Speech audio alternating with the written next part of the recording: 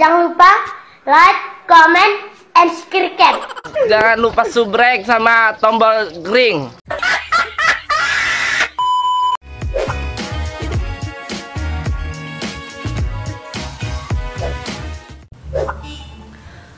Wah kosong nih akuarium.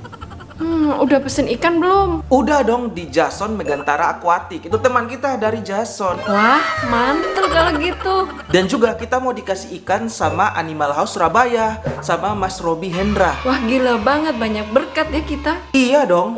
Oh iya nih, banyak banget loh yang nanya di DM Instagram. Mereka itu nanya apa? Nah, pertanyaannya itu, apa pengaruh background hitam sama putih? Kayak kita nih.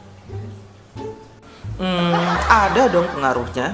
Soalnya aku udah cari-cari referensi, kok nggak ada ya?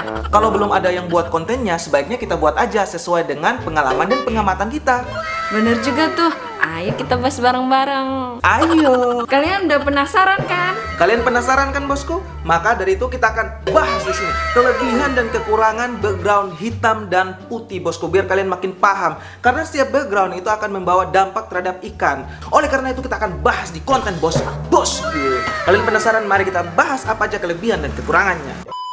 Kali ini yang pertama kita akan membahas tentang background hitam bosku. Kita akan bahas kelebihan dan kekurangannya. Kelebihan pertama dari background hitam yaitu mempertajam warna bos. Kalau background hitam maka warna cananya itu agak pekat gitu bosku. Oleh karena itu banyak kiper-kiper yang pelihara cana di bawah ukuran 30 cm bos. Mereka tuh pakai background hitam biar mempertajam warna ikan.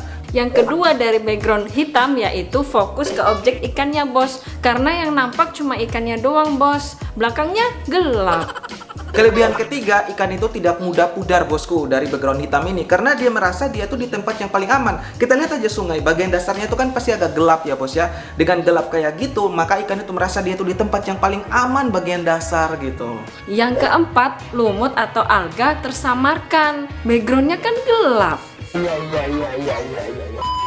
Kekurangan dari background hitam bos, kotoran bagian atas itu nampak banget bos, bagian atas-atas kayak gini nih bos. Kalian lihat sini, ini kan kalau putih, kalau putih ini nggak kelihatan, nggak kelihatan. Tapi kalau background hitam itu kelihatan banget, bos. Itu kekurangannya background hitam. Kalau background putih kayak gini kan tersamarkan. Jadi kalau kotoran putih-putih yang mengambang gitu atau tidak di atas permukaan kayak gini, itu kalau background hitam kelihatan banget, bos. Itu dia kekurangannya, bos. Yang kedua, lampunya itu harus terang bos Karena kalau nggak terang, ikannya nggak kelihatan Karena kan backgroundnya gelap Terus selain itu boros listrik Karena lampunya harus terang Sekarang kita akan membahas tentang background putih, bosku. Seperti yang kita di sini, bosku. Dan kita akan membahas yang pertama, kelebihannya, bosku. Kotoran-kotoran yang mengambang, yang kecil-kecil kayak gitu, bosku, hilang. Karena tersamarkan sama background belakangnya yang putih. Kan kotoran yang mengambang itu kan putih. Sama yang di atas-atas kayak tadi yang saya bilang itu, bagian atas ini, kalian lihat sini. Ini kan nggak terlalu kelihatan, kalian lihat di sini. Nih kotoran yang mengambang bagian atasnya tuh. Nah, bagian bawah tuh, bagian bawah dari ininya. Tapi kalau background hitam kelihatan banget bos. Ini dia kelebihan background putih. Kotoran-kotoran kecil, debu-debu halus tersamarkan. Yang kedua, menonjolkan warna ikan yang gelap bos Cocoknya tuh seperti red maru bos Itu lampu gak harus terang banget bos. Karena kalau putih kayak gini kan terang. Kalian pakai lampu yang samar-samar punya tetap kelihatan. Karena basicnya emang terang belakangnya bos. Yang keempat, seluruh objek di akuarium itu kelihatan bos Karena kan backgroundnya terang bos Yang kelima, tampak lebih mewah bos Nih, lihat nih Mewah kan? Yang keenam bos, kalau background putih itu kalau dikasih ketapang, wah makin jos warnanya bos. Makin kelihatan menarik gitu kalau dipandang. Itu beberapa kiper juga pakai kayak gitu bos. Background putih, baru mereka kasih ketapang, wah lebih jos lah. Biar makin markotok bos.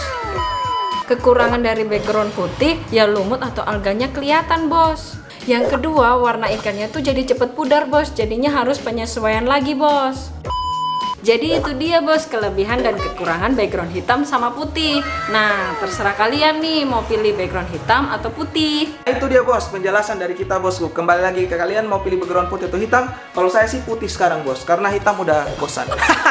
Jadi coba pakai putih karena lebih keren. Kan sekarang ini lagi zaman tren putih bosku. Jadi aku juga nih pakai putih hanya ini belum dibersihin ya. Kita lagi pesan ikan, semoga ikannya tuh lebih cepat sampai di Sumba. Dan kita tambah koleksi kita ikan-ikan yang kosong ini mati kemarin bosku. Dan sekarang sudah musim hujan, dingin banget di Sumba. Dan buat kalian yang pengen ikutin giveaway, ikutin aja bosku karena ini minggu terakhir kita mau undi beberapa hari lagi nih bosku karena ikannya banyak banget. Jadi kalian harus ikut bos. Oke, selengkapnya ada di deskripsi kalian lihat aja bosku dan jangan lupa like video bos-bosku. Jangan cuma komen, like juga bos. Oke, bye bye.